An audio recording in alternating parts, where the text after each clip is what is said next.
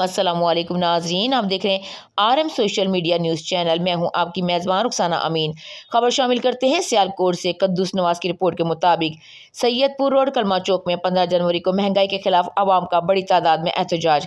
गरीब आवाम का कहना है, कितने सालों से सुनते आ रहे हैं, महँगाई कम हो जाएगी, लेकिन कब कम होगी? जब हम कब्रों के अंधेरों में पहुँचेंगे, तब महँगाई कम होगी। मजीद आगाह करते चले Mehar Qasim senior crime reporter का कहना है, हमारे मुल्क पाकिस्तान को पूरी तरह से दिवालिया बना दिया गया है। ना तो सरकारी आटा और ना ही यूटिलिटी स्टोर्स में मुकम्मल खाने पीने की अशिया मिलती हैं। न गैस, न बिजली। गरीब आवाम की सस्ती अशिया की ज़्यादातर करप्शन के ज़रिए खरीद फरोख्त हो रही है। अंदर खाने, बड़े ट्रक की अशिया गरीब आवाम को क्यों नहीं मिलती? कमी की वजह करप्शन करप्शन करप्शन। अगर पाकिस्तान हुकूमत के वजीरों के गले खाली हैं तो आवाम के खून से भी नहीं भरेंगे और ना ही बेहतरी हो सकेगी। गरीब आवाम तो अपने अखराज कम कर लेती है, लेकिन इसी तरह हुक्मरानों के अखराज बढ़ते चले जाते हैं।